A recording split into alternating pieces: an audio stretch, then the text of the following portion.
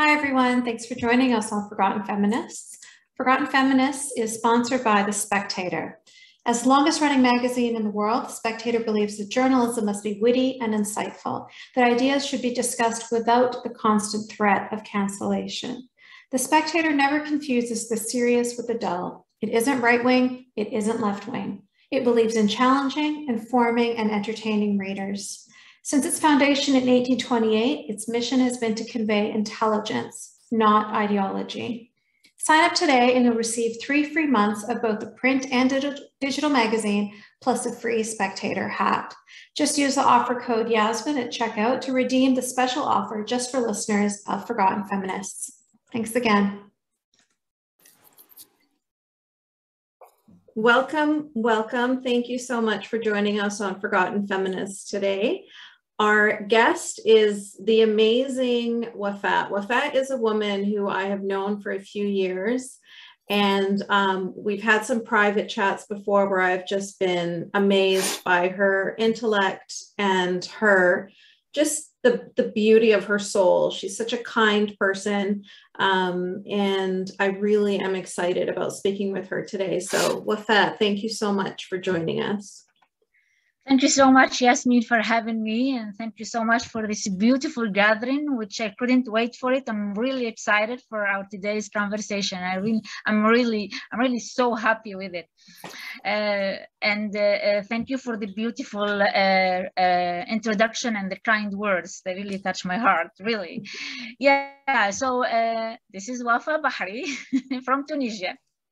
Yes, Tunisia. So Tunisia is always being held up as like this beacon in the Middle East, right? I mean, that's that's a question too. Is it Middle East? Is it North Africa? But in in the Muslim majority world, it's always being held up like, oh, you know, that's that's where they have gender equality. That's where they have democracy. That's where you can really see the true Islam. So, what do you have yeah. to say to that? What was it like yes. growing up as a woman in Tunisia? Yes, yeah, thank you for that question. So actually Tunisia is even uh, sometimes called in the literature the state uh, feminist or the feminist state. Mm-hmm. Uh, I mean, you found this terminology in the literature uh, on women's and study uh, about Tunisia or uh, history of Tunisia. And why is that? Well, that goes back actually to the post-independence legislative procedures taken by the very first president actually, I mean, uh, Tunisia just had two presidents before the revolution of 2011. Uh, the first president who came right after the uh, independence, and then uh, the second one who was outed by the Tunisian revolution. But the, the first president whose name is Bourguiba is well known, this well-known name is well known for the liberator of Tunisian women. Uh, and why is that? That's because of the bunch of procedures um, actually they're pretty bold procedures. He took right after the independence by uh, issuing the uh, code of the personal status and a number of um, uh, essential rights for women that contradict boldly uh, uh, some of the um, uh, Islamic teachings or the Islamic approach to, to feminism and women's status. Uh, since the 60s and the 70s, uh, polygamy is banned in Tunisia, for instance.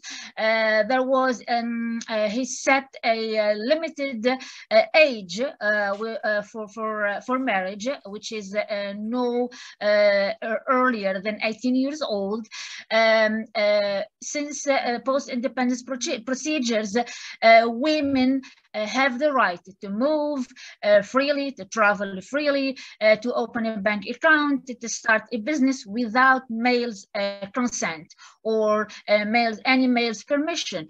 Um, therapeutic um, Uh, uh, services uh, for the right to, uh, for abortion and rights to or accessibility to contraception tools everywhere in the country. Those were issued since the 60s and particularly in 1973. Um, and so it was a pretty liberal state when it comes to the women. And fe women's feminism was probably, if I, I can describe it or can put it in a, in a word, it's the most salient post-colonial legacy which the government, I mean, opted for, that's the policy it opted for, uh, in order to sell an image of modernity. The very first mm-hmm. president, Habib Bourguiba, who's in the literature called the liberator of women, uh, that's, I mean, he was pretty westernized. He came back to the country with a westernized mind. And um, that was his main focus is to emancipate uh, uh Tunisian women. As a matter of fact, there's a very famous a video of him on YouTube when he was like roaming around the country for the first time, right after he came from his exile and right after the independence. And people, of course, he was like um, um, so very much um, appreciated by the people. Uh, so uh, he went around and he saw this woman who was wearing the traditional Tunisian dress, which is um, uh, um, sort of not hijab, but a, long mm -hmm. dress, a white dress that women would would wear before mm. going out. He went to the woman, he tapped on her uh, cheek and he removed that dress. And he was like, you don't need this anymore. And since mm-hmm. then, mm. Tunisian women are liberated and that was reinforced by a ban of hijab. So hijab was banned in Tunisian public places uh, since the 1960s. Um, it came back to public buildings in 1981 when the Islamists uh, took over to the streets and was some uh, sort of turmoil. But then it continued to be banned even with the second president all the way until uh, 2010 and 2011 with the, uh, the start of the Tunisian revolution, uh, which started the rest of the revolutions in the Arabic speaking countries. Mm -hmm. the Arab Spring. The literature is called Jasmine Revolution, but I don't like it to call it Jasmine Revolution. That's not, that doesn't reflect um, what the revolution is about. Mm -hmm. So mm-hmm. I grew up in that kind of environment. Uh, I grew up with with in a family, uh, particularly with um, a dad, because my mom passed away early on in my life when I was one year and a half. So, uh, but my dad was a Bourguibist. Whoever adheres by these principles are called Bourguibist in affiliation to Bourguiba. So he was pretty Bourguibist. He was pretty um, uh, adherent to all these procedures. Yet he's always had a patriarchal mindset, reinforced, of course, by his uh, religious teaching. My dad identifies himself as a conservative Muslim, even though he never prayed in his life. uh, he memorizes half of the Quran, even though I've never uh, heard him citing any Quran, but that's what he said. And uh, his uh, when it comes to um, uh, modesty culture, particularly. He's so immersed in that culture, and his justification of that was always Islam. Islam says this, so uh, that's why uh, you should be dressed up like this, even though he's all the time uh, like against hijab. My dad calls hijab the women, and I'm gonna quote unquote because this is gonna sound pretty racist. He's always called them like liars. He was like, to be religious, you don't need that symbol uh, or to show off your religiosity. That's how he grew up. However, uh, he's so very much uh, um, was pretty much violent against women, particularly his wives, not his daughters. Uh, and he justifies that by Quran, uh, ayah or verse 34 in An-Nisa, uh, chapter An-Nisa. And uh, at the same time, when it comes to the way women should dress up. I mean, there is a lot of policing, uh, which for which I mean I rebelled. I was I was always against that, uh, but of course I didn't have the means uh, to execute my my my my, uh, my, thoughts on that until I I came to the United States. Uh, mm-hmm. So yeah, so this is this is how I, I I grew up. This is the political and the family environment where I grew up. Yeah. So it sounds like an interesting paradox really where it's it's a liberal feminist forward thinking in many ways but at the same time it's like the islamic patriarchal edicts are almost like a weight like they're going to constantly be pulling things back you know for your dad to be able to refer to the quran and say this is why i can beat my wives you know? Yes. Um even some of the things that you mentioned like the fact that uh, polygamy was um, was made illegal. You know like how can they do that?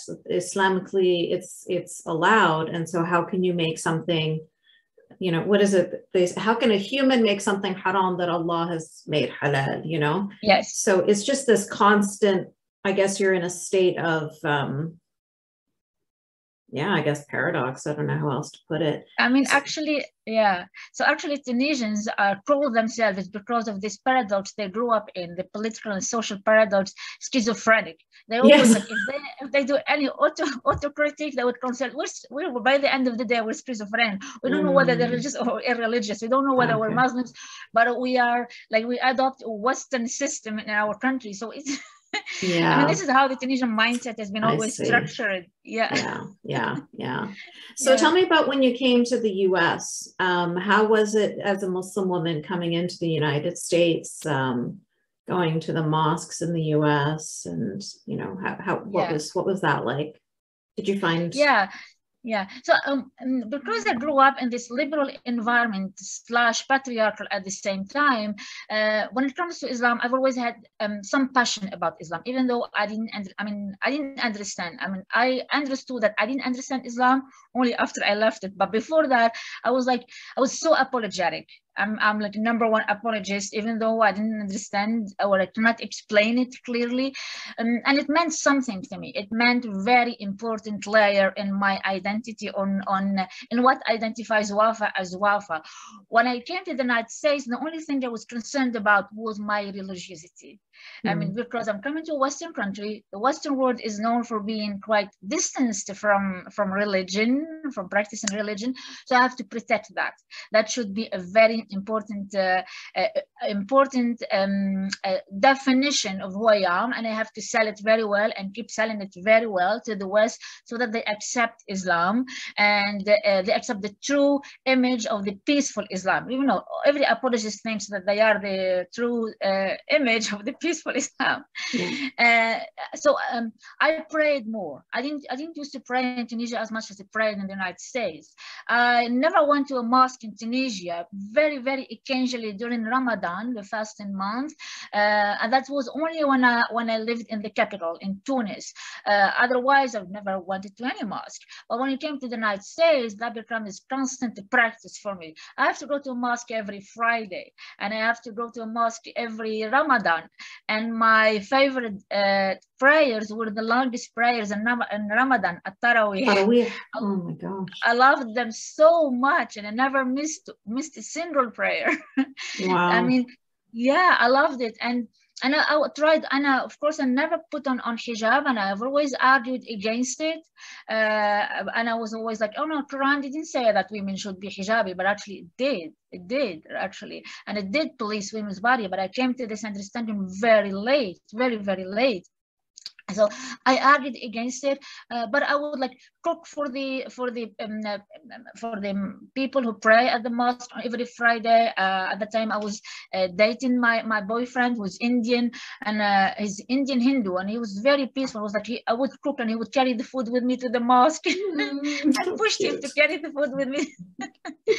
Yeah to, to so you continued your paradoxical mindset into america yeah, and, where you come in with your non-muslim yeah. boyfriend to the mosque exactly and I, I, I, never did this before in tunis never cared yeah. really uh, and and I, I, even tried to convert him and i was like okay if you convert to islam you're gonna become like a baby a new baby born all your mm. sins is gonna be like eradicated and i was like but how do you know i have sins I, I mean, why are you dating me if I've seen? Yeah, why are you assuming this? Oh yeah. my gosh, I think that's so interesting that you brought that up because people are so surprised when they hear my story because they're like, You're in Canada, you're in Canada. But there's something about being in the Western world, being in, in, a, in a liberal society that makes people clamp down on their religion even more than they do in Muslim majority countries. I mean, I never felt more free than when I went to Egypt, to be honest. Then it was oh, people were belly dancing and listening to music, like my cousins, like my family. I couldn't believe it. All of this stuff was completely forbidden when I was in Canada. In the Islamic schools, you know, all we ever did was pray. Um, and then now the, the, the schools there, because I was teaching at a school in, in Egypt, it was just it was so much more open. It was so much more free. There was discussions going on. Like the kinds of things that I was not used to in Canada at all. So it's it, yeah, it's quite interesting how people assume that you're going to be more conservative when you're coming from the Muslim majority world, but quite often um, it's people in the in the Western world. They just, I think that they want to they want to resist or they want to um, yes. defend their identity or something. That's, that's for exactly, me. Yeah. yeah, I think for for my family, they really wanted to put up like a huge brick wall separating us from the society so that we wouldn't pick up any of these, you know, feminism, liberalism, democracy, any of these evil ideas, you know. Yes, yes, that was that was my concern, by the way. It was like a tool of resistance. I was, I have to practice Islam as long as I'm in America to protect that identity, which I was aware somehow that was not mm, uh, well pro- propagated like somehow. So I have to protect it. I have to put, to be apologist and I have to sell the best of it. I have to demonstrate the best of it. Mm-hmm. And uh, however, I mean, unfortunately, like as much as I was passionate about the practice uh, and because I started going to the mosque and even the Dawah uh, table students, you know, in mm every university there were Dawah table, they tried to pull me, but I resisted that as well. I was like, that's mm wrong. I don't know why I was wrong, but I resisted that.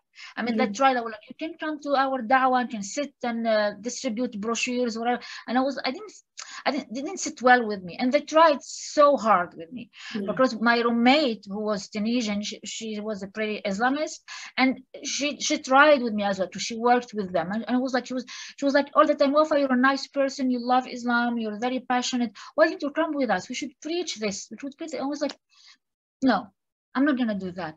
I, I feel something fishy about it, but I don't know why. But at the same time, when I go to the mosque, I have my own corner, uh, and I, I started like towards uh, towards like uh, after three, four, particularly when I moved to New York from, the, I lived Virginia, then you moved to New York for my PhD. In New York, I started thinking like, um, I started feeling something uncomfortable, but uh, um, the way I used, I mean, to go to the mosque is like, I would sit separately from everybody else. And then I was like, okay, uh, and I started to become aware of the feminist question. And I was like, okay, I have to, I have to say to people that Islam is feminist as well. Mm-hmm. It's another thing that I have to add. So I'm going to do that. I'm going to pray in the men's section. So I started praying in the men's section and I was waiting for the Imam. Um, I tried to become provocative for the Imam to criticize me or to push me, to ask me to go to the women's section. They never did that, to be honest. I started to pray on my, without hijab, without covering my head. The women came to me, like, oh, you have to cover, you have to cover your head, you have to cover your hands, you have to cover, you have to wear socks. And I started pushing back against that. I mean, peacefully in the beginning, but then when they mm, it was, I mean, it got exaggerated exacerbate at a certain point. And this happened particularly in ramadan. And i'm like okay mind your businesses. I mean i'm not gonna do this. So i pray on stretchy jeans on shorts no not covering my hair. I was like if islam is about like just what's in your heart so you don't care about I mean, mm-hmm. the, the, surface. You should not care about what, how, how you should dress up in a mosque or out, in or outside the mosque. It doesn't matter because you're a Muslim all the time, right? It's about niyyah. It's about the intuition. yeah, and then, uh, but then, but then, uh, and the more I stay in the mosque, the more I, I do not see Islam. The more mm-hmm. that which I pictured, which I envisioned, and it mm-hmm. start and then there was the ISIS at the same time, which, which happened during that time, 2012, 2013, etc.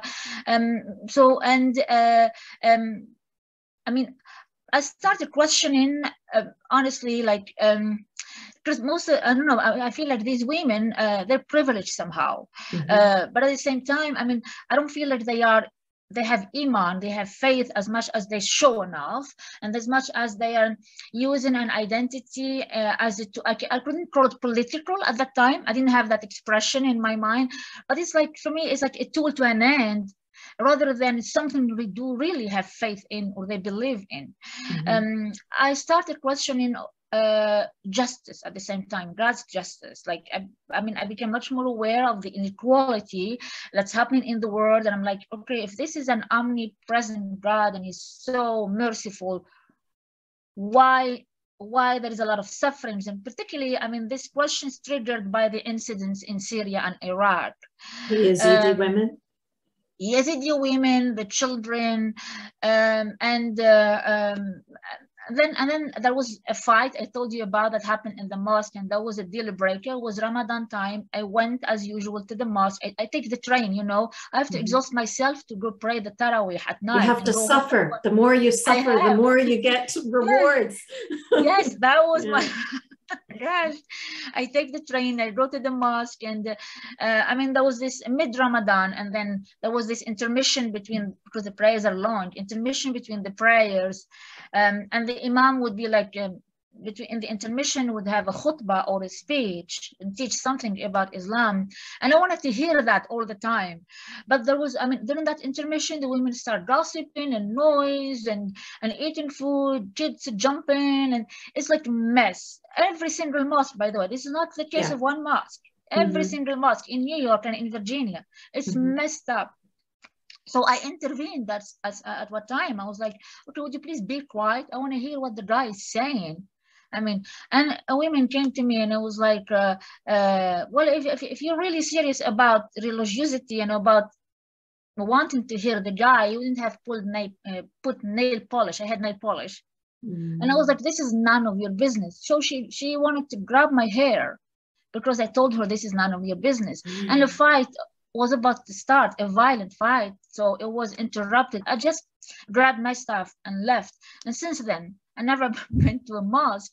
The following day, I worked in a lab at uh, my school, um, a language lab at my school, and I had um, a friend who's from Jordan. Uh, she, she's Muslim. She's always Muslim, but she's very critical of Islam, and she opened my eyes on so many things, like Malikat al-Yamin, the sex mm. uh, hmm. sex slaves. I didn't know. She told me about it. She's Muslim, and she's still Muslim, by the way. She told mm. me that there are sex slaves and mentioned more than 20 times in Quran. I was like, no, you're kidding me. It's not mm-hmm. true. And she was like, yeah, that's true. Uh, she wears hijab whenever she goes back to Jordan. She was, I don't care. I have to be safe. Uh, she's forced into hijab whenever she, she, she goes back to Jordan. So it was Ramadan again, the following day, like I told you. And she was like working with me. And then she looked at me and she was like, do you feel like to have a coffee? It was 10 a.m. in the morning. And I was like, damn, yes, I feel like a coffee. that was the first time ever I went out and I broke my the first time in my life. And we had the coffee from Starbucks next. I mean, next in the corner of, of my of my university by the Empire State Building, by the way, in New York. Nice. So uh, and we had the coffee, and she she carried on to be to identify herself as a Muslim, by the way. But I know that deep heart she's not and because mm-hmm. she's the mm-hmm. one who's criticized who opened my eyes on many things um, i was on facebook during that same period and um, I saw Aylan's body on the shores of Turkish, the mm. Kurdish island, the little guy. Mm. And that's when I decided I come out. I just wrote a status. I'm done with this. I'm done with this. On that day, I received so many messages from close friends to me from my hometown, particularly in Tunisia. They were like, Wafa, you're being blasphemous. Be careful. Be careful. And I was like, I am blasphemous, actually. Mm-hmm. I am blasphemous on Facebook and mm. and and that's how how I interrupted. And it's a very emotional moment when I saw that body. I was like, that's it, done. Why? That's, ah, that's uh, that's incredibly brave. Incredibly brave for you to do yeah, that. Yeah, that was September 2015. Yeah, I mean, I I for me it was it was 9/11 that did it for me. It was there's such an emotional and at the same time i was also i also had an intellectual because i was in university and i was taking history of religions course and so that was already bombarding my mind. But then 9 11 happened, and then that just bombards your heart as well. And then that's it. Like that, I'm done. I can't, I'm, I'm finished with this. But I stayed quiet. I stayed very quiet for like 15 years. I didn't say a word. So, I mean, the fact that you could, oh my gosh, I can't even imagine. I don't know anybody else who did that, who just like came out so publicly. Um, oh, yeah. Because the backlash would have been immense, you know? Yeah. I mean, it's, it, it's, it's because social media like allows people to attack you in so many more ways, like, like than than real life. Do you know what I mean? Yeah. Like there's no point in real life when you're going to have 300 people screaming at you, telling you how much they hate you and how you're going to burn in hell and how you're this and that. You know what I mean? But oh yeah, yeah. Well, not for someone like you or me, like maybe for a politician or something like that. But but Facebook just give it's it's such a cesspool of hate, you know. So I I can't even imagine the strength of character that it would have took for you to to write that post knowing all of the people that could read it and and how they could react so i mean yeah. that's yeah i mean i i honestly i mean i took it very personal when i that picture of course uh, just like trembled every like shook everybody else whoever yeah. saw Aylan's body on the shore turkish shores i don't think there is a single person who did not was not shake i mean shaken by yeah. that image and to me that was very very personal it's like again the justice the girl's justice question has been answered to me at that moment there is mm. no hmm. it's impossible that this God exists impossible I wow. mean, uh, seeing and watching the uh, the ordeal of, of, of, these children, of the Syrian, Iraqi children, Kurdish children, Yazidi children, like that. Mm. Like, I mean, uh, everybody was like, I know that it took me a moment to um, imagine, I mean, the struggle of Aylan's in particular in the ocean. I was like, how, how did, and when he fell out of the boat, like, how was mm. that? How did mm. that feel? Like, how, like how was he? How did he what did he do? What did he think of? What i don't know. So mm-hmm. many questions. And i just come out i came out i mean and i was like i'm done. And yes and then if uh, people was like you're blasphemous private text message i mean messages and some people just commented you're being blasphemous be careful. That's not what what all this is about. And i was like no i am blasphemous and i mm-hmm. assume it wow Wow. Yeah. Wow. Yeah. It was it was really, really tough. That was really, really tough. But then you feel alone, Yasmine, because oh, everybody is against you oh, and you yes. didn't know about anything. You did that, right? Because mm-hmm. it was you know when you're it's not it's not like a very common thing to be an apostate, right? Apostate mm-hmm. should be killed, mm-hmm. right? So nobody yeah. dares or even to think about it. So I was mm-hmm. thinking I was the only one in the world. Yes, like me too. Yeah, it is such a deep loneliness. Like you feel so isolated. You it's it's so hard to explain to someone what that feels like. And I mean, and when I decided I didn't want to be Muslim anymore, it was before social media too. So I truly like I'd never heard the term ex-Muslim. I didn't even know other people existed like me. I thought that it, it if there were other people who decided that they didn't want to be Muslims anymore, they were already killed. You know, yeah. they, they're not alive. I'm never going to hear their voices. I'm never going to see them. So I better stay quiet so that nobody knows that I exist. And that's why I was quiet for so long.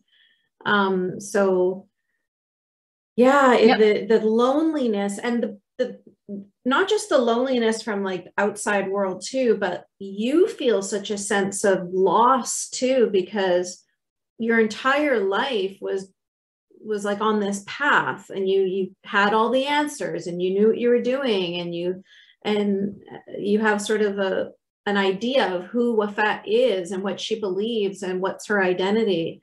And then and now what? Now it's like this like you're just there you're just standing with like rubble around you saying i have yep. to re i have to rebuild this woman somehow like eh, from you know it, it's it's such a it's such a personal journey it's such a difficult journey and it, yeah. and you have to do it all alone like it's so scary yeah absolutely i remember i remember i was at the university cafeteria uh, at the graduate center cafeteria and eating my lunch lonely and i was like what did i do to myself i was wondering and then i had my laptop with me and i was like let me let me look like uh, uh, for apostates, so people who leave Islam or whatever. And the word ex-Muslim came up for the first time. And then ex-Muslim organization came up. And I was like, like I, I, re I remember that moment. It'll never be like the, the, the timing, the frame, or the, the, the, the, setting. It was the cafeteria, eighth floor, Redwood center. And I am like eating my lunch in my lot. I stopped my lunch. I was like, what's this hmm. ex-Muslim mean? What does it mean? Seriously? And I searched and I was like, oh, there is an organization and then there's contact information. I was like, okay, let me reach out. Just mm-hmm. reach out. And I just sh- shoot an email, maybe three or four or four sentences at the man, I introduced myself. I was like, I left Islam. What should I do now? yeah, please help. Can I join you? Can I join oh, yeah. you? How to join you? What are you doing? What do you do? What's your work? I don't know. But they reached out and then they invited me. And when they invited me, it was so exciting. And and uh, and when they when they made me join their Facebook, like they accepted me in their Facebook, and I found the list of ex-Muslims, the list of the, and I was like, it was such a relief for me yeah. and such an euphoria that happened. Like, oh my gosh, there are all yeah. these people are here. Yeah, it was really and, and the first. I mean, I can't be thankful enough to ex-Muslim in North America, to be honest. Yeah, I remember that feeling as well. I they felt like filled up a gap. Yeah. it's like you feel it's like you found your new ummah. You know, it's like you did you lost this community, but you have a new one. Like you really feel like you're. It's like oxygen for the first time since leaving Islam. Yeah. Yeah and, and I became addicted on their Facebook um, group page and, and their work and I loved them, I appreciated them and still do. I mean, I appreciate them because they filled up a huge gap in my life, Mhm. literally.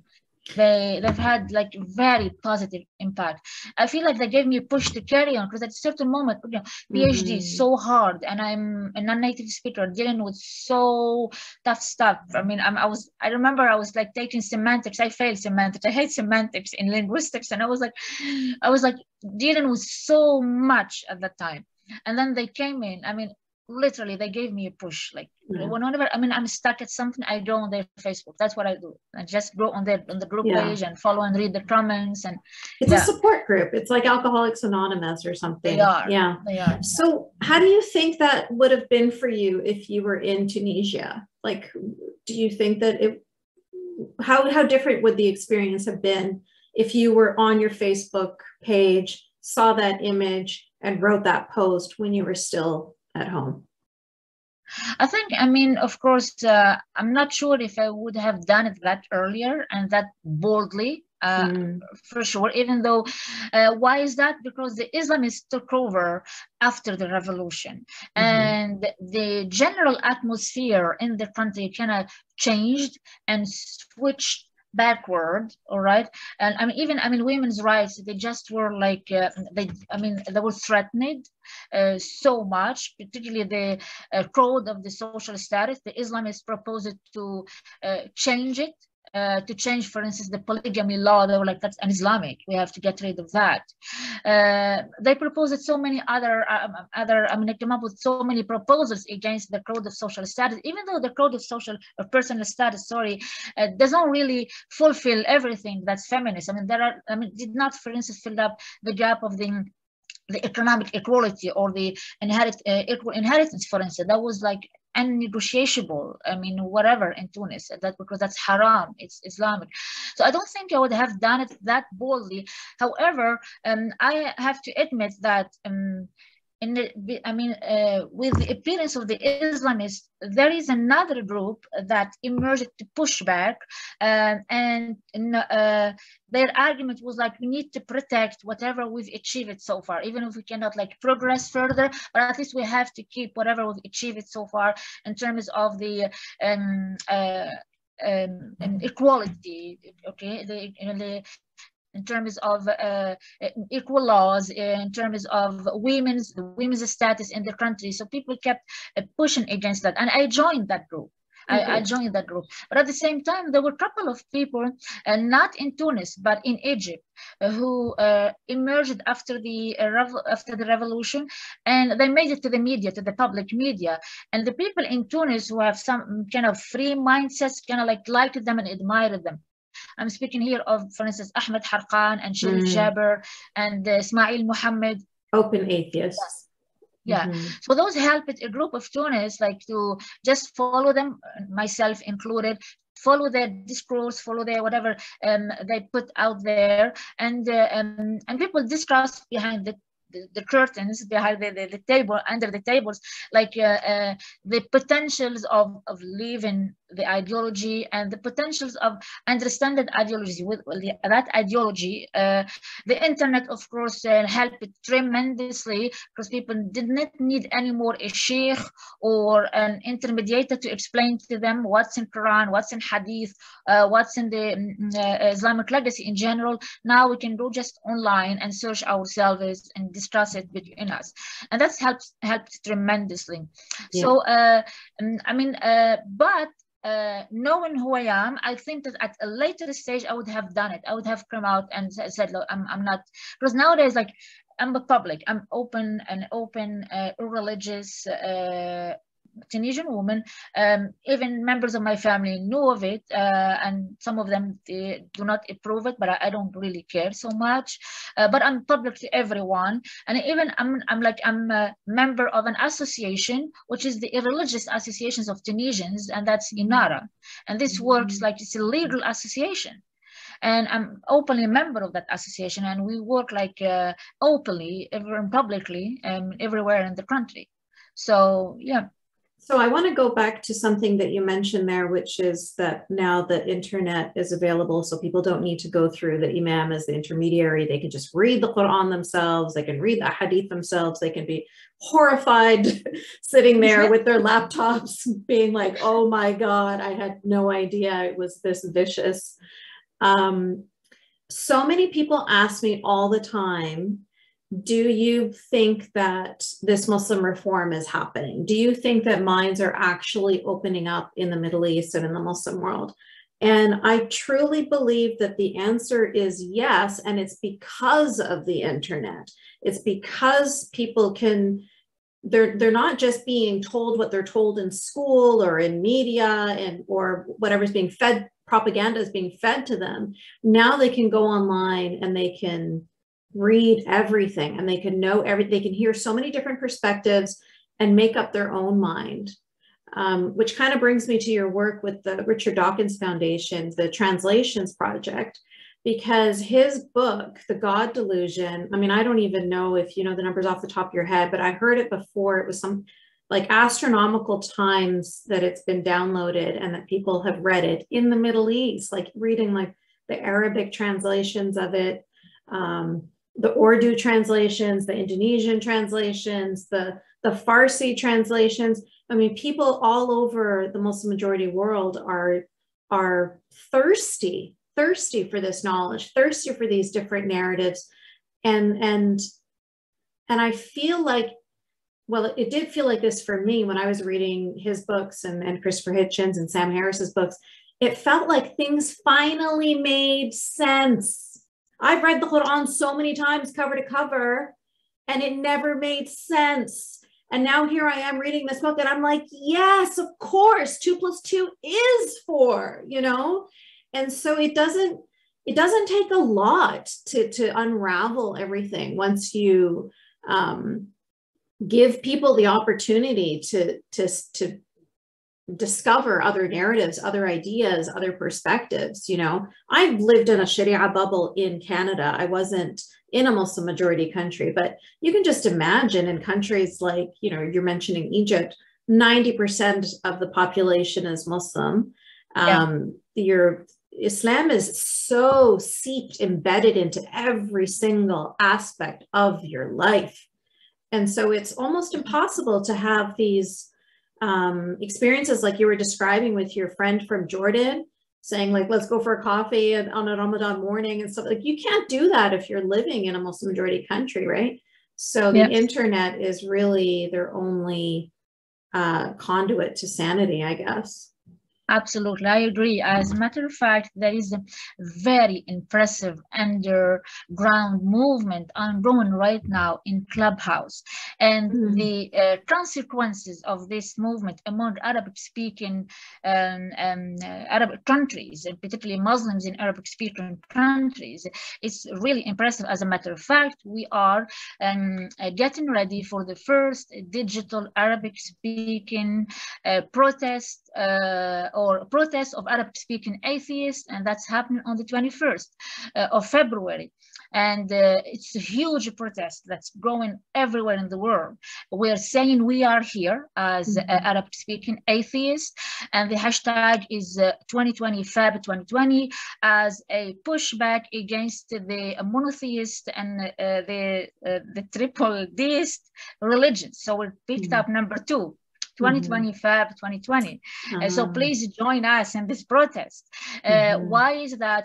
That's as a result, this coming up as a result of the internet, uh, the internet support and the, the, accessibility to the internet. Like you said, people know they no longer need an intermediator to understand the Islamic uh, legacy. Uh, and of course, the God delusion, which continues to be leading in the rate of downloading as per the last data of the um, uh, of the translations project by, uh, I mean, uh, at RDF, the, the RDF, Richard Dawkins Foundations, it's read, I mean, it continues to be read and to be downloaded, the first book, even though we are like translating new books and making new releases every quarter, but uh, uh, yeah, it continues to be leading. Uh, and it has like, it changed or it shook uh, the Arabic Muslim world, I mean, um, shook its roots, by the way. Mm-hmm. Whoever mm-hmm. discovered that book, even though, by the way, people are criticizing it right now. Like the all these religious people who left, they were like, it's not my, our best book. Mm but it's not the best book I've ever read. And they have their own critiques and everything. Uh, but uh, it's still an eye opener for, yeah. for everyone uh, who wants to uh, see from the other side of the mm-hmm. of the uh, or, or the different perspective to religion. So yes, it has it has like it has had huge huge uh, impact among arab speaking uh, atheists and mm, in Muslim majority countries in, in, in general. That's that's absolutely uh, true. And like I said, it is uh, it is one of the factors that has enhanced or pushed uh, these. Um, underground movements uh, and uh, to come up and to keep like uh, working or like i said right now uh, there is a, a, huge feminist movement among arabic speaking uh, mm-hmm. atheists um, i mean for instance it's the first time ever like this movement has participated in no hijab day i told you mm-hmm. that yasmine i showed you some some data mm-hmm. and they are and since then since then they were and they're planning already they have been already planning for what to do next year they want to release something written like your book or a volume of essays. Uh, they want to join. In, they want to join the public media. I mean, with open faces. Uh, and they were like, well, no, we're gonna take it to the streets. Actually, in Germany, in France, and as a matter of fact, I mean, the ex-Muslims of um, Germany, they were inspired by the clubhouse uh, feminist movement on the No Hijab Day, and they took it to the street. They mm-hmm. went to the mm. street and they lifted like flyers and everything with no hijab day on, on the on the first of February. That oh, happened. That was it. and that was inspired by Arabic speaking feminists. Trust mm-hmm. me on that.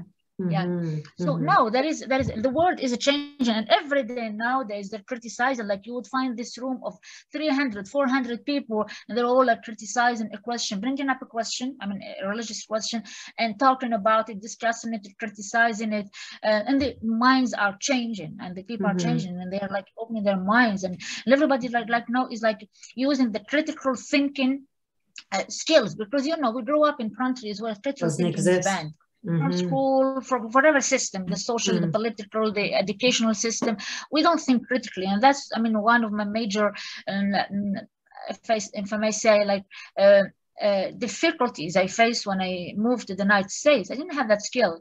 I mm-hmm. had to start from scratch to learn it right? Nowadays, everybody's subscribing to that skill. Everybody's knowing and value, I mean, valuing it. And everybody is like approaching that there is nothing that's called sacred. They're challenging the word sacred and holy. I mean, in every single, uh, every single discussion that, that they bring either in Clubhouse or Facebook or social media, it's like, we don't, we're not going to subscribe to anything that's sacred anymore. Mm-hmm. I mean, mm-hmm. we want to change our countries. We want to change our, our, uh, I mean, situation we're so far behind, like 14 centuries behind everybody else and it's a shame yeah. and these people i mean you're gonna be so impressed by their intellect oh yeah. my gosh I mean, one time am. i made a state on facebook i was like please political leaders just step aside let these people yes. lead i'm sure that yes. they're gonna do something they're gonna change yeah. it yeah yeah for yeah. sure i mean i just uh, there's so many things i want to say in response to that but i'm i'm conscious of the time so i really want to ask you one more question um, before we open it up to everybody who's here. I want to talk to so this is really what you just talked about now is is so inspiring and it's such it's so positive. And I want to continue on that note and also ask you about um, imperialism. Because when we talk about uh, imperialism we're always talking about oh those you know those bad white people and how they are imperialists. So my so in Egypt, where my family is from, which is in North Africa, they actually, the official name of Egypt is now the Arab Republic of Egypt. We have nothing to do with Arabs, but now we're called the Arab Republic of Egypt. We speak yeah. Arabic. We have no respect for our pre Islamic um, civilization, the ancient Egyptian civilization that everybody in the West values. In Egypt, it's not valued. It's considered the Jahiliyyah, the, the days of ignorance, the pre Islamic days of ignorance that they almost are ashamed of. Yeah. Um, so, so many countries have been colonized by Arabs and their identities have been erased and they've been forced. You know, you talked about the uh, Tunisian traditional clothing that gets replaced with hijab, if not niqab. And you see that happening all over the world. You see that happening right now in, in Afghanistan very visibly. Um, so I just want you to talk a little bit about your Amazigh culture and that whole awakening too, because that's another sort of pushback and, and, and reclaiming of, of your true identity yeah so i was as i was leaving islam and i was like um, uh, uh, i uh, i was working on my taking courses but i haven't decided yet my research topic. And i was like struggling with what to do for my research topic. And then uh, it was all accidental. It came up during christmas dinner because i have an uncle who uh, used to live in atlanta. He's married an american and there was a christmas dinner. And i was like we were discussing my future um, projects and what I'm going to search or focus on for my research. And then my uncle was like, why don't you search the Berber element in Tunisia? And I was like, mm. but that's, that's a dead language. I'm not going to mm. find data. I don't want to struggle. And he was like, but your grandma uses Berber terms. And I was like, what? That was a shock. I'm like, what terms? And I mean, to me, because I grew up in the city, my grandma is from the rural, and I understand that we speak two different varieties of Tunisian, two different regional varieties, but it has never occurred to me that the rural variety is highly influenced by Tamazight language. And and that was like a shocking, mo- an aha moment for me. I was like, mm. but how can I find data? How can I, I was like, use your grandma, record your grandma and analyze her data. My grandma is like 100 years old at the time, you know, so mm-hmm. very old, yeah. So, and I went online, I was like, and I, so again, I went online and I searched the Amazigh people in Tunisia, and to my surprise, for the first time, I found out that actually there are speakers in the southern parts of Tunisia, and to be precise, for those who do not know Tunisia, these are, I'm talking about the um, regional uh, parts of the country where Star Wars was made. Mm-hmm. yeah, where, where Star Wars were filmed. This is what I'm talking about. It was filmed in the Amazigh uh, part zone of Tunisia. And as a matter of fact, there was a planet in the movie which is called Tatooine. Tatooine is an Amazigh word and it's the name of a city in Tunisia. Oh, how cool. I didn't know I mean, that. Bring, I love it. Bring the picture closer to whoever yeah. doesn't, I mean, audience, whoever doesn't know what I'm talking about. I found speakers on Facebook and I was so impressed. So you do exist and they're young in age. They were like in 30s and, and their 30s and 20s. And I was so, you do exist. I mean, how come? I never want to know. I mean, and never, because the way they depict Tamazight element is like an, an eradicate. It did exist in history, but it's extinct it's um, it's dead, and it's almost a taboo word, particularly before the revolution. Why is that? Because it was deemed separatist, and whoever brings that narrative, and I came to know all this after my, my research, by the way. Uh, whoever brings the Amazigh narrative, wants to talk about Tamazight, the uh, element, or the Amazigh element in Tunis, they're deemed separatist and divisive and uh, harmful to the political uh, hegemony, uh, sorry, uh, homogeneity of the country. Uh, and this, this is the hegemony of the socio-political, I mean, um, uh, Arabo-Islamic ideology mm-hmm. in the mm-hmm. country. So since we were born, we're told we're Arabs. And mm-hmm. it took mm-hmm. me like um, uh, about three decades of my life before I discovered that I've never been Arab, neither yeah. culturally uh, nor linguistically, because I speak Tunsi, which is highly influenced by Tamazight language. I mean, plenty, plenty of lexicon, lexical terms, and even the morphology of Tunsi, and so is Moroccan, and so is Algerian. Those mm. are Tamazight.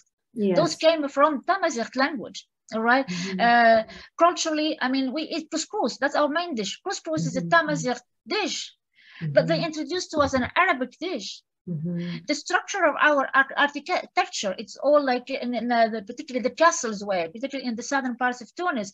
Those are Tamazight structures, Tamazight architecture. They introduced to us as Tamazight. Mm-hmm. The, the, the, the cattle, like the horses, we're speaking about an Arab horse, while all the horses in Tunis are Berber horse. We're speaking about, I mean, everything yeah, is yeah. Arabized yes. under the Arabization uh, mm-hmm. policy and plan, planning, which suffocated to death our identity or at least a very important element of a Tunisian identity and so is the case in other North African countries yeah. for the sake of um, the Islamic Arabo-Islamic identity and homogeneous pseudo-homogeneous Arabo-Islamic identity basically a lie and that's why we're growing up like earlier I spoke about schizophrenia I understand mm. that we have an identity crisis we don't know who we are we don't identify ourselves by who we are actually mm. and that's mm-hmm. so hurtful to me I took that very personally personally. And and since then, I mean, since I started searching the Amazigh history, of course, my, my focus is in, in the linguistics part a part of, of Tamazight language. I mean, I mean, every day I'm, I'm disclosing plenty, plenty of, of data and information that are contradictory to uh, to Arab identity and particularly to the Islamic identity. I mean, by the end of the day, the word Amazigh itself etymologically means a free man or free human being. Mm. And symbolically, it's, I mean, symbolically, it's, I mean, they take, um, I mean, it has a script, it's called Tifinagh. The Amazigh has an ancient script called Tifinagh. Then they um, innovated, now using Neo Tifinagh, um, has specific, um, like, like uses characters, uh, mm, uh, yeah, some sort of characters. Uh, but in these characters, there is the character which is stands for the letter Yaz or Z, Yes, the, the is a particular, uh, basically is like a symbol of a free a human being because the way you design it is like a human being opening their uh, arms upward and they're mm. setting their legs freely to symbolize the idea of freedom. When it comes to religion, I mean, I read a book by Maarten Kossmann, who's a linguist and uh, Berberist. He focuses on Berber studies and Amazigh studies. I mean, he did a lot of research on, on the etymology of the language, and he claims that even the term uh, or uh, Amazigh, they don't have a term for ubudiya, for slavery, mm. uh, the way Arabs had. And this mm -hmm. is mm-hmm. normal. I mean, languages, we don't have, each language has its own lexicon, mm -hmm. and some mm-hmm. languages do not have the same concepts uh, -hmm. as mm-hmm. Other languages. We conceptualize things differently. If it's not something that you use. Yeah. Yes. Yeah. So I mean, even and, and this speech. I mean, when I when I compare this information or when I take this linguistic information and see history, I know that in Ibn Khaldun, the sociologist, the famous sociologist, he he uh, um, uh, he he said that the Amazigh people revolted against Islam twelve times. They apostated twelve times the queen of the Amazigh people was a woman because Islam is against women being leaders. Mm -hmm, mm -hmm. Amazigh was led by a woman whose, name is Dihya, but the the Arabs called it Kahina or or uh, the witch uh, as an insult, all right? Because she's mm -hmm. a woman and leading her country, and she fought against Islam to a point and never, never surrendered uh, and she chose like death she was killed by by the muslims invaders uh, um, uh, over surrendering. Uh, and by the end when she was about to when she knew that she was she's gonna be like defeated this is what she said to the muslims this is very known in the literature. Okay you have a message of islam you claim it's peaceful give us the message and go back to your own country why are you staying why are you staying here but if you if you came with good like with a good mm. um, intention and it's just to preach this ideology would give it to us we're gonna we're gonna carry on preaching it and go back to your friends why are you colonizing us why are you staying? Amazigh people paid men, paid the, the ransoms like hell. Amr ibn al-As, the Sahabi, the, the Prophet's friend or campaign whatever, who colonized Egypt and sent his uh, men to colonize North Africa, you know what he did to the Amazigh people? He was like, if you're not able, because at the, the Amazigh people of Libya, uh, there is a portion that's tribe in Libya, they were not able to pay the ransom because of uh, poverty. I mean, they were drained. Their land was hmm. drained mm. by Muslims, by the Muslim invaders. He was like, if you can't pay the ransom, sell your kids. Yeah. To pay for the ransom. And this is documented in the literature. And this is mm. in the hmm. literature. When I see all these information, I was like, what the Arab Islamic ideology just that did to us, what mm-hmm. Arabization policy just did to us. Like it has erased, erased our identity, it suffocated us and suppressed us. And how mm-hmm. I'm not mm-hmm. gonna be able, um, I'm not gonna be angry against this. I mean, I have every single right to be angry against falsifying my history, my indigenous history, and falsifying all this. Um, uh, and I have every single reason to name the spade a spade, and that is Islam. This is what Islam did to North Africa.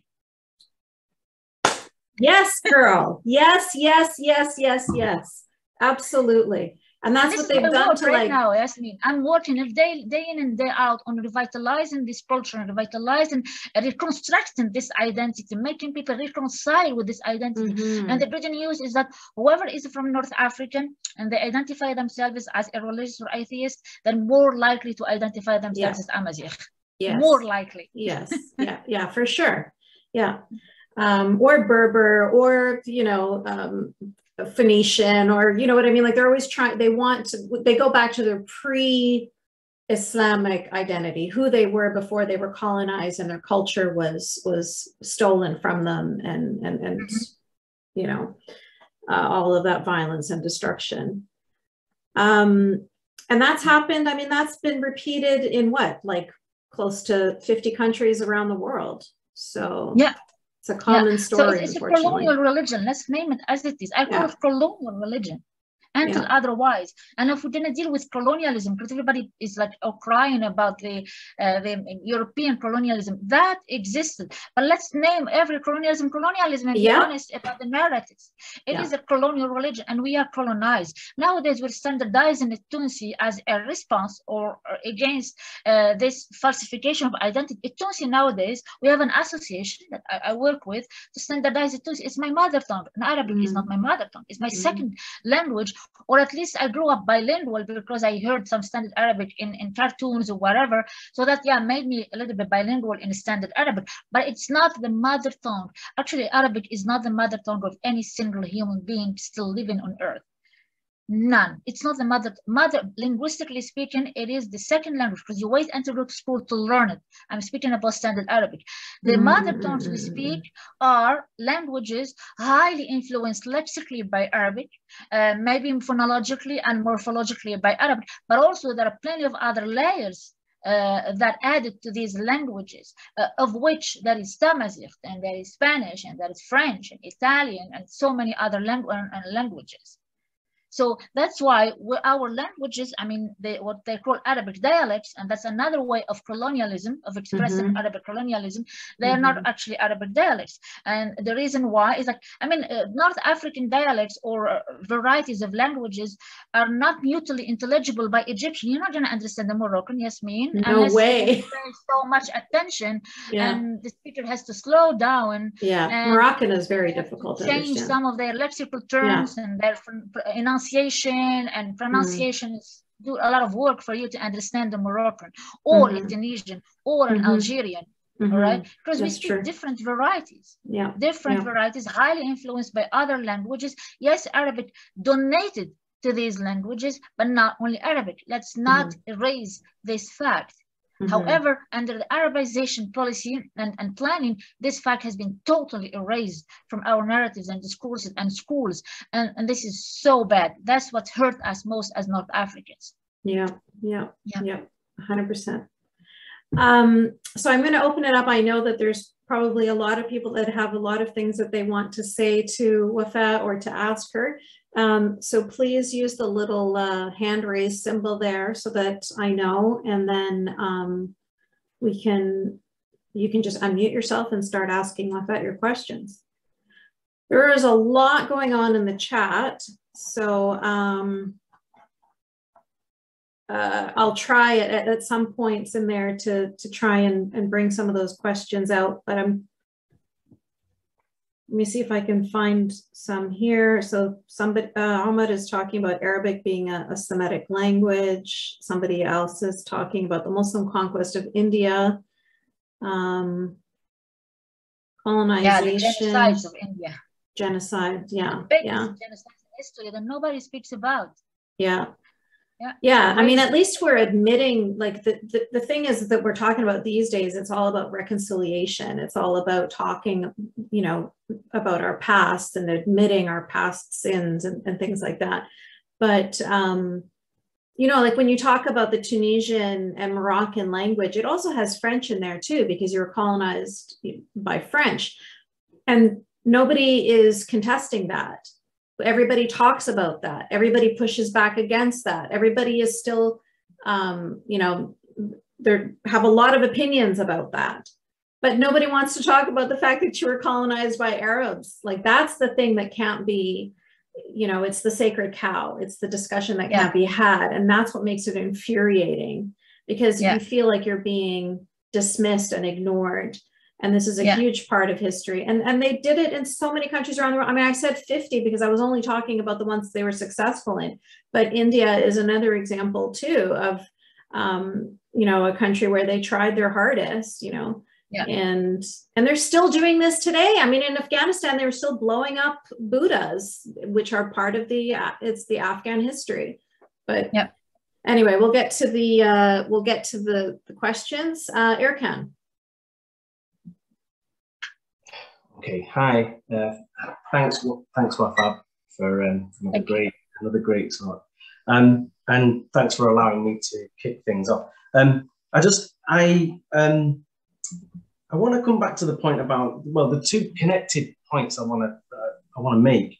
Um, it's encouraging to hear about some because some of us, some of us are kind of blindsided by cultural, um, you know, obstacles, and we unlike Yasmine and others, maybe like can read Arabic and can access news from you know other parts of the world, social media sites, and that kind of thing. So some of us who don't have that kind of access are obviously blindsided by those um, obstacles. So it's great to hear that you know other parts of the world are giving atheism a try or thinking about atheism and thinking about secularism and that kind of thing. Um, that's not to say that's not to say, of course, that these regimes, these countries that they live under, don't have their own, you know, countermeasures. That they, you know, they try to intimidate people, they try to censor things on the internet and so on, like we mentioned last week. But it's just good to hear that this these kind of conversations are being had.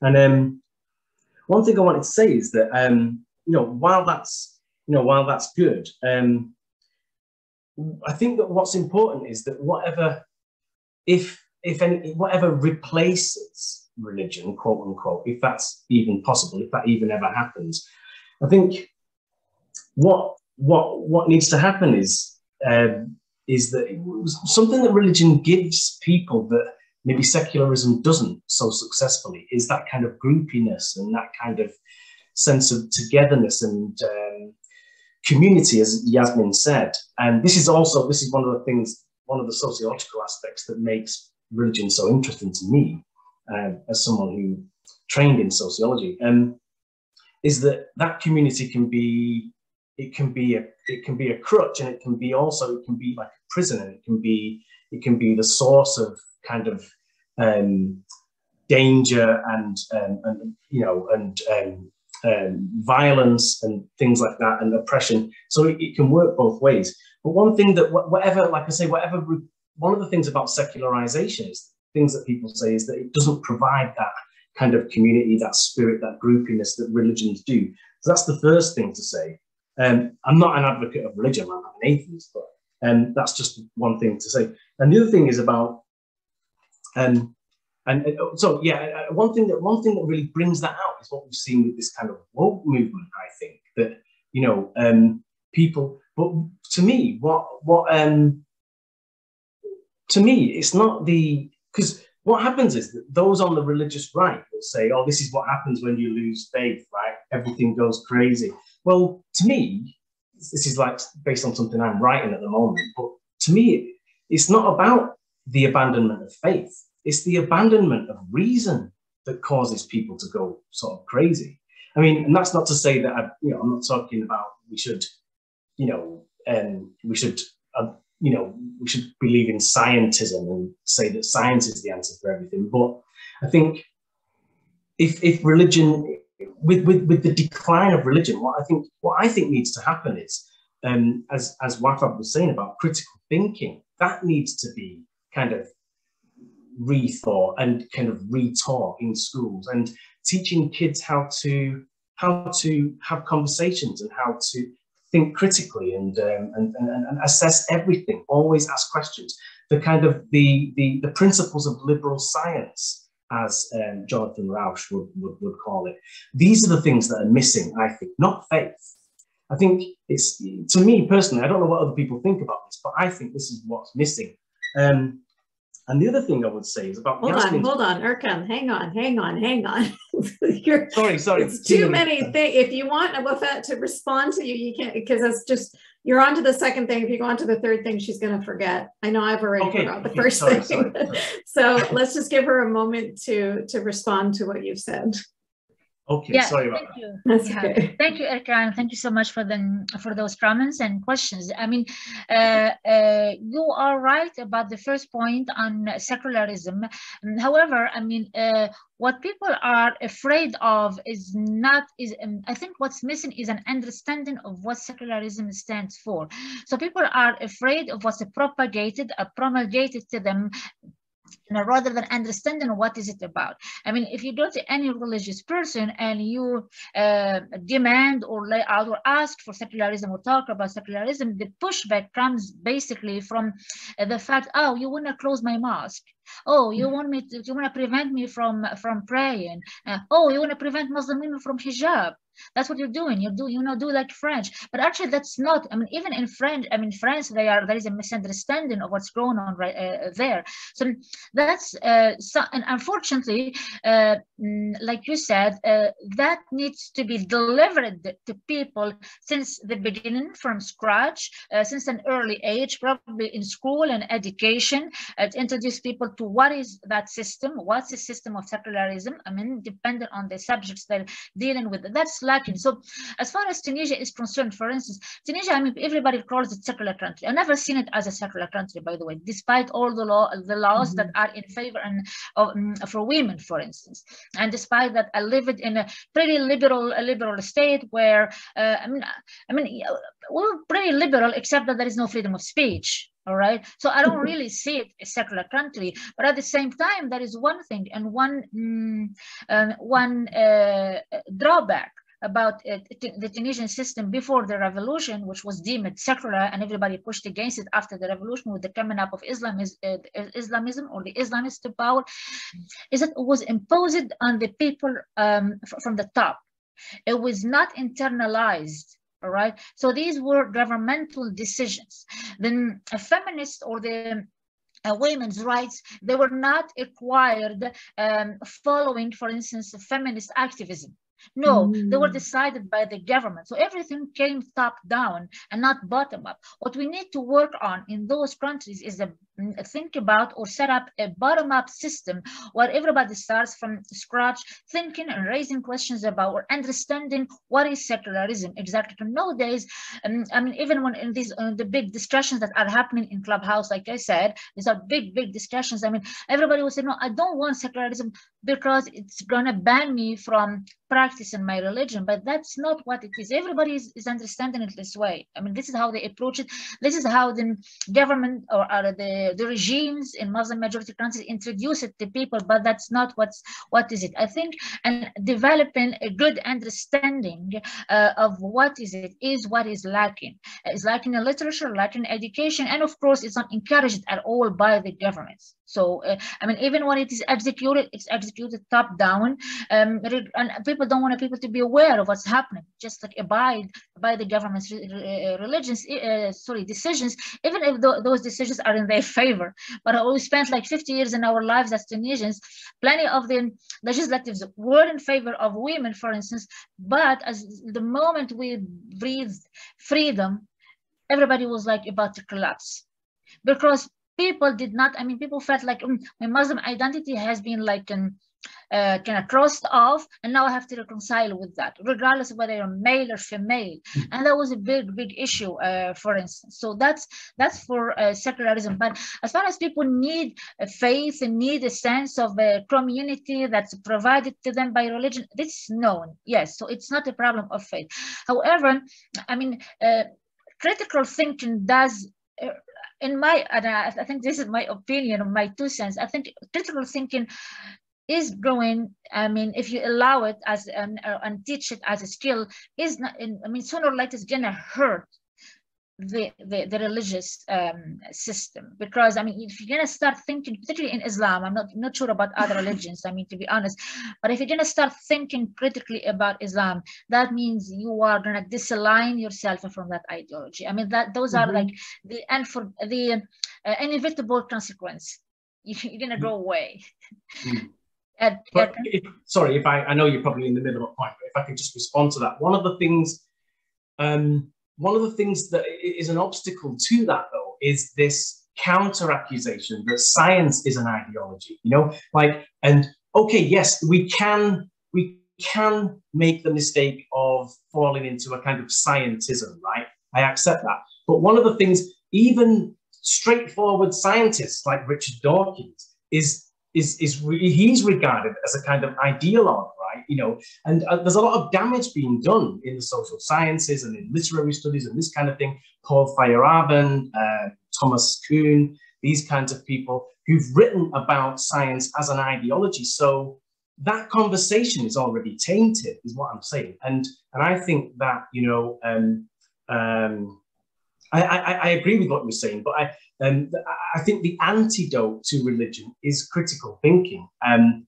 and I'm not saying that that's the, that, that, um, science is the only domain in which that can take place either. But I'm just saying that critical thinking and liberal science, as Jonathan Rauch would, would refer to it, is the way forward, I think. No matter, in the end, whatever you believe, openness and debate and critical thinking and the ability to question everything is is the key, right? I mean, that's what I'm saying.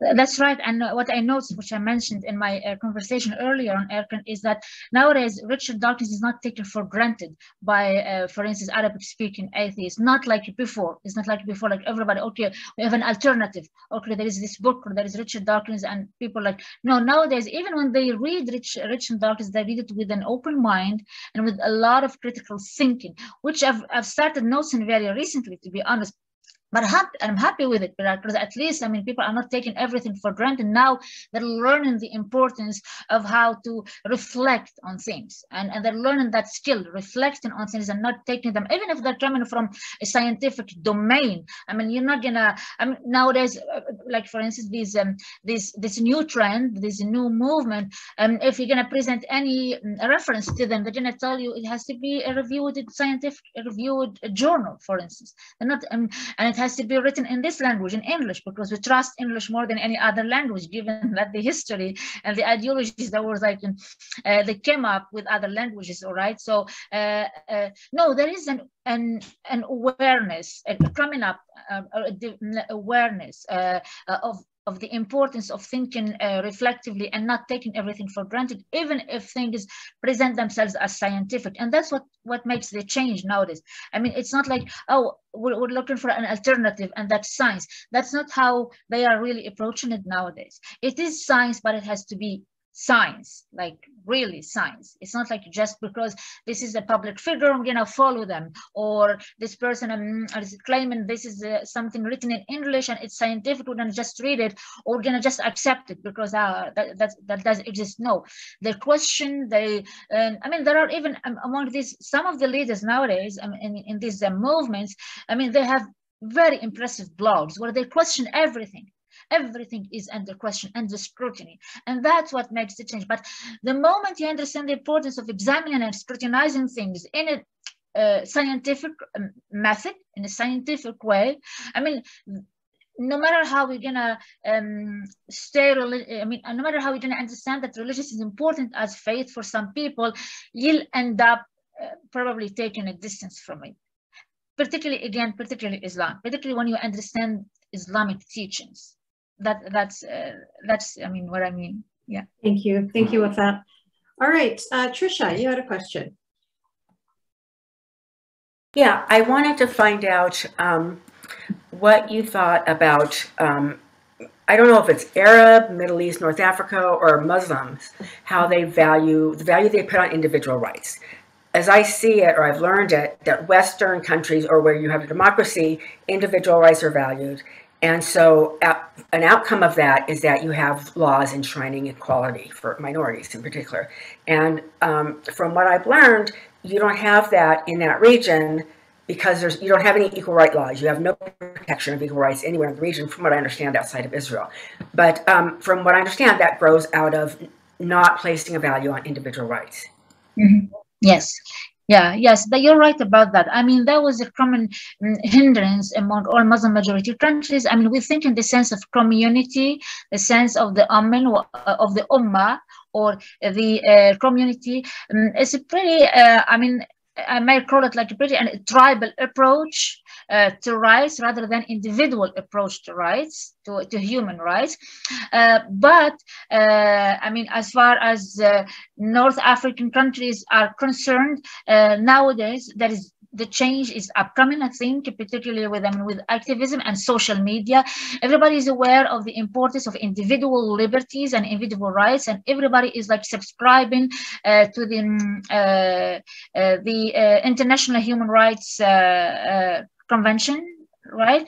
And they're trying to i mean to use that as main constitution because not all constitutions uh, i mean this, they are in favor of a human rights. As far as the tunisian constitution by the way and this is not a chauvinistic thing mm, and you may be like surprised. It's a very good particularly the 2014 the new constitution uh, when it comes to individual rights it's very supportive of individual liberties and individual freedoms and individual rights um, however uh, like everything uh, kind of like gets uh. I mean, you help me with the translation. Yes, me just like uh, uh, not not uh, like everything inside the body of the constitution is in favor of human rights. However, uh, it's like as if I mean uh, it all loses its importance, its value because the first article of the constitution um, uh, asserts that the country is a Muslim country. So no matter, so it's kind of very contradictory. So no matter, mm, despite all the beauty, all the um, uh, progress, progress or the progressiveness that's in the body of the constitution when it comes to individual rights, it's kind of like everything is not going to be executed unless that first article is moved out of the way. But that as long as the first article states that the country is Muslim or the state is Muslim, and um, it's as if like uh, nothing is valid. All right, we're going to need a lot of work to before we could we uh, were able to execute uh, I mean, uh, what the rest of the articles asserts, all right? Mm, but no, there is there is a change. Uh, there is an awareness of the importance of thinking individually versus thinking with the mindset of a community of uh, tribalism. This is for sure. It did. It does exist nowadays. It's ongoing. What are the consequences? That depends on the regime's decision and governmental decisions. But the activism is there, the awareness is there. And again, social media is so supportive in that regard. I mean, in Tunis, we have the COLIBE, which was about uh, to sign, I mean, like uh, 2016, we were about, the government were about to uh, uh, pass the bill for equal inheritance between male and, and, and women. And by passing that bill of equal inheritance, uh, all the Islamic laws are put aside. That's it. That's the last nail in the coffin of Islam. However, it did not pass because of some uh, political corruption that occurred at that time. Um, where, where the equal of inheritance came from? Came from uh, a committee that met led by female uh, or feminist feminist activists um, and they uh, insisted on the importance of individual rights. Uh, that's actually i mean even the the committee's name is, is the committee of individual uh, liberties and um, uh, and and equality. Yeah, yeah. Um, I wanted to to say that um, some countries, like I guess, uh, disagreed with the UN Human Rights Declaration. And so yeah. there's the Cairo Declaration.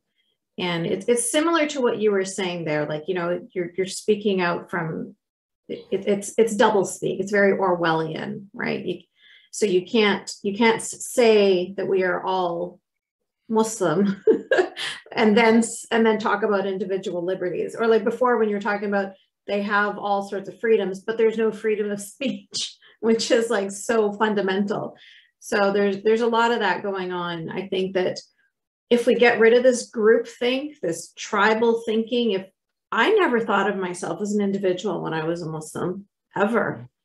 And then even not just as a muslim but just as a woman too and all of the honor shit that is piled on you the family the pressure um, you always think of yourself as being pulled in a million different directions and having to um, fulfill all of these obligations for all of these other things, for other people, for other beings in the sky, for political things, uh, whatever it is. But you never think about yourself. What do I want? Who am I even? What are my desires? What are my needs? I mean, in, in my in my um, interview with Ayaan on her podcast, we were talking about how when we were forced into the marriages that we were forced into, our families thought of us as a thing, as a commodity, right? This is a virgin that I will give you, right? Mm-hmm. And we think of ourselves, we used to think of ourselves in that same way. Like I didn't, I never thought of myself as an individual human being. So that's definitely something that um, needs to be overcome. And I'm really happy to hear that, that these kinds of things are, are happening. And I really yeah. liked your example about how they're even being critical of Richard Dawkins because it shows exactly that. You know, it shows that they're even, it's not a new Quran. you know, you're not just jumping, you, nothing is, there are no holy cows. We're actually going to look at everything critically. Um, yeah.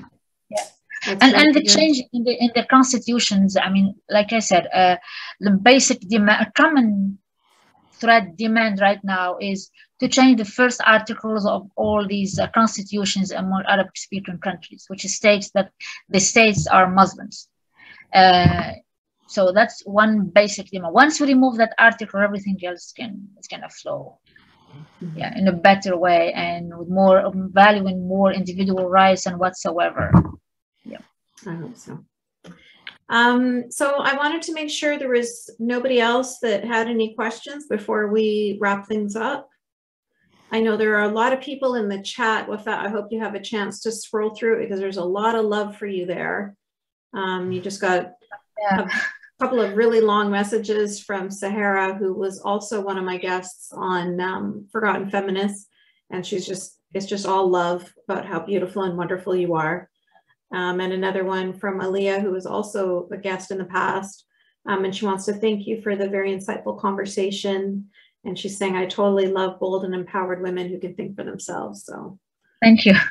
definitely thank you so you. much. Appreciate it. Thank you.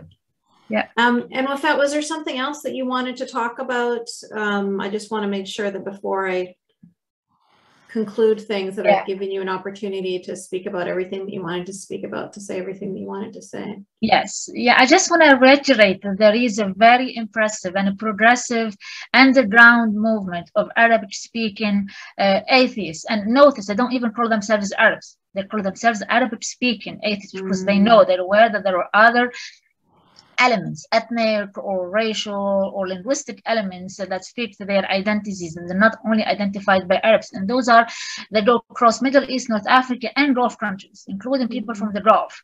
Um, um, it's uh, ongoing. Uh, that there is this uh, uh, uh the first international digital protest by Arabic speaking atheists on the 22nd of February 2020 uh, so please please sorry support that protest. Please i mean um, just tweet the hashtag. It would be highly appreciated really. And all the information i mean if you click on the hashtag you're going to find tons of information about this protest and how it's been organized and structured and what are the uh, the, the objectives of the of the protest. And it's growing and we hope that grows globally to include everyone. We want to tell uh, the people all over the world, and particularly in Muslim majority countries, we are here, we do exist, we're part of uh, our countries, we're citizens, and we deserve to be treated equally, not like just second, uh, citizen class or uh, not just like, uh, um, uh, we don't need to be, um, I mean, in the closet anymore. We want to come up we mm-hmm. want to change and change things towards like um, the, you know, what's good for our countries, for our nations and our people. We want secularism. We want science. We want to uh, teach um, uh, the uh, uh the uh, evolutionary theory, which is lacking in so many schools. Uh, it is high time we progress. It's high time we get we put up with the pro pro progressed countries. That's what th these are the main demands. And I just want to say that please support INARA, the first uh, religious association, legal associations in Muslim majority countries and it is in Tunisia. Uh, uh, they're doing wonderful, wonderful work helping out the people who are in the closet or who were like uh, ostracized by their families and people, and they are huge supportive of freedom of speech. We want to talk about who we are, our identities freely. We're all about freedom of speech and freedom of thinking, particularly. We want to mm -hmm. think mm-hmm. freely and express ourselves uh, freely. And, and it's a, a growing uh, association, again, Which means enlightenment, I believe, in or enlightenment in in, in English. Uh, and this location is uh, uh, in Tunisia. Um, and of course, I mean, please support the translations project.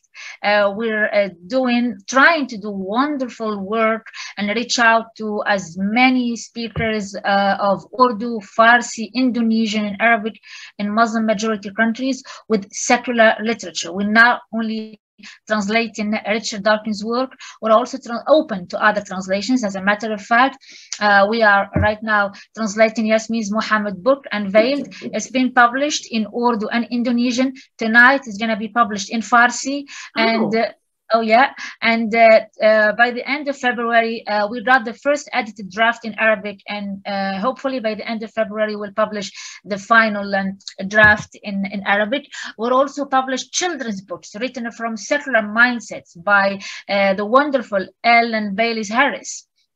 Uh, the four mm. book series yes uh, so we translated them in the four languages and we uh, published them uh, and we're open to all kinds of secular literature and we're trying to reach out uh, all these speakers in muslim majority countries who are and trust me on this they are eager to see, mm-hmm. um, to read uh, different uh, literature, different books, to get exposed to different narratives and perspectives from the ones that sold to them or given to them by their own regimes, because they know that these regimes are not free and they cannot function outside the framework of uh, Islam teaching, being uh, under the influence of several religious, powerful religious institutions uh, like Al Azhar in Egypt or Dar al In Saudi Arabia, and those like they fund them money. So mm-hmm. money speaks here, but the people are aware of that, and they're eager to see alternatives. And we're all that we're trying to do is help them out uh, or get accessibility to some of those alternatives by providing free downloading of whatever we translate on the translations uh, uh, project and mm, publish that and reach out to them and tell them here it is another another way where you can see the world from a different perspective and understand the importance of fighting for your freedom of thinking and freedom of speech. Because that these are like most important in my opinion at least they're the most important um, uh, tools to humanity. To think uh, to think as i mean um, from a humanitarian perspective to think that we're just human and always humanity is always better than the text. Whatever text even scientific text so let us be human and, and one of the ways to reach out that that that point that that that um, target uh, is um, to, to have an open mind and, and get exposed to everything and think uh, freely. Uh, so uh, um, yeah, so please uh, follow us on on uh, on the.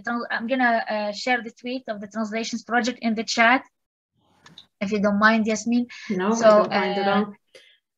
Yeah. And and yeah. also that hashtag was hashtag two two feb two two. Right? Yes. So I'm gonna put it in the chat as well. Okay. Can I just ask if is, if, is there any alternative to the hashtag? Because some of us are not on socials. I'm not on Twitter, so I mean I hate Twitter. So uh, I've never even. Okay, is, is, there any alternative to following these kinds of things? Like yeah, I, I'll, website? Yes, so I will. Uh, I will send. Uh, I put in the chat the uh, the website of the um, of the protest, uh, and you may follow uh, follow the website as well. And uh, uh so, oh, you have a comment from Graham where Graham, she's already in academia. He says that you're going to be a. Um, uh, I just lost it because somebody wrote something and then it scrolled. Uh, if you go, you'll be a terrific teacher and professor. So you are a terrific teacher and professor. Yeah. And more love from Deborah. And more love from Sarah. More love from Manan. Thank you. From Paula. um, uh, Trisha's asking you about Inara. Is it spelled I-N-A-R-A? Which one? Inara. Yeah, yeah, this is how it's spelled uh, in English. And uh, I'll, I'll give you the website uh, now in, uh, in Arabic. Oh.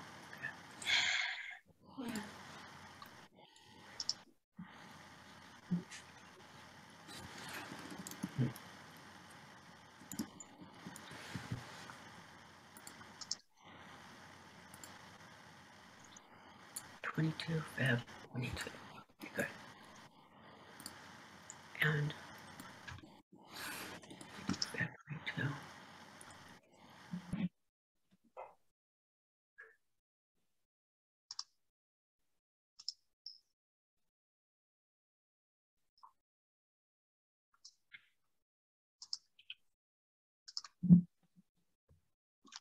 That's the press kit for the uh, for the protest. Wonderful. Thank you so much, Wafa. And thank, thank you. you. Thanks. Did it show up on the thing for everyone? Uh, no. It's just a hashtag. Oh, okay. Let me. Uh, the press kit is under the link that I just sent, but I am gonna. Uh, one second, please. You know what? Just send it to me and I'm gonna, I'll put it in the, um, I'll put it in the description of this video because other people who are going to be watching this video are probably going to want that link as well. So just send it to yes. me afterwards. Okay. Yeah, All that right. sounds good. Great. So thank you again, Wafa. Thank you so much for sharing so much of your story and so much of your insight and so much of your knowledge about Amazigh culture and, and everything else. And, and um, I really appreciate you sharing your time with us. And thank you everyone for joining us. And uh, I hope to see you guys at the next Forgotten Feminists. Thank you. Thank you so much, Yasmine, for having me. Thank you. I appreciate My it. Pleasure. Bye, Thank you so much. Thank you so much, everyone. Bye, everyone. this talk. Bye.